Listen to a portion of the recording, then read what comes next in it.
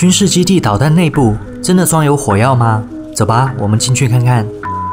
Hello，大家好，我是小番茄。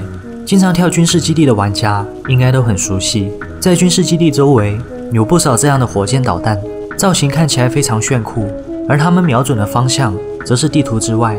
那么这些导弹内部究竟是怎样的呢？先测试一下大家的手速吧。三二一，你双击了没有？关注了没有？